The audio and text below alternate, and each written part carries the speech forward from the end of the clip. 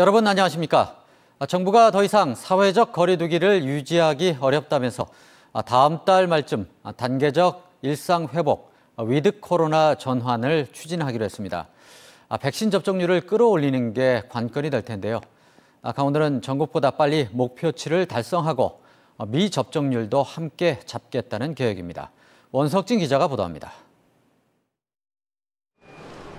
다음 달 위드 코로나 전환의 전제 조건인 성인 80% 접종 완료를 위해 화이자와 모더나 백신의 2차 접종 간격이 기존 6주에서 4주 내지 5주로 단축됩니다.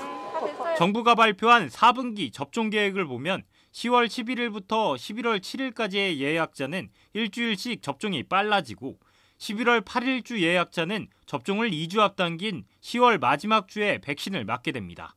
아스트라제네카 백신 2차 접종 예약일은 4주에서 12주 범위 안에서 다시 잡을 수가 있습니다. 단계적 일상 회복은 우리가 반드시 가야 할 길입니다. 하지만 높은 예방 접종률로 감염 위험이 크게 줄고 강원도는 다음 달 전국보다 5% 빠른 성인 85% 접종 완료가 목표입니다. 11월 첫째 주와 둘째 주 2차 백신을 맞는 강원도민 16만여 명의 접종이 다음 달로 앞당겨지기 때문입니다.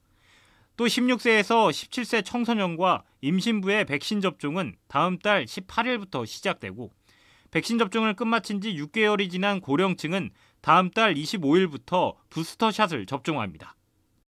아울러 접종 대상자지만 아직까지 백신을 단 한 번도 맞지 않은 강원도민에 대한 접종도 독려하고 있습니다.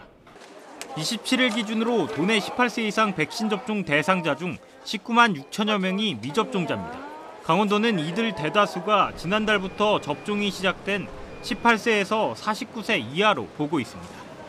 시군별로 다 그 재난 문자가 있습니다. 그래서 미접종 되신 분들은 9월 30일까지 그 예약 접종을 좀 빨리 좀 해주시고 코로나19 백신 미접종자는 사전 예약 누리집과 1339 콜센터, 각 시군 보건소를 통해 백신 예약이 가능합니다. 지원 뉴스 원석진입니다.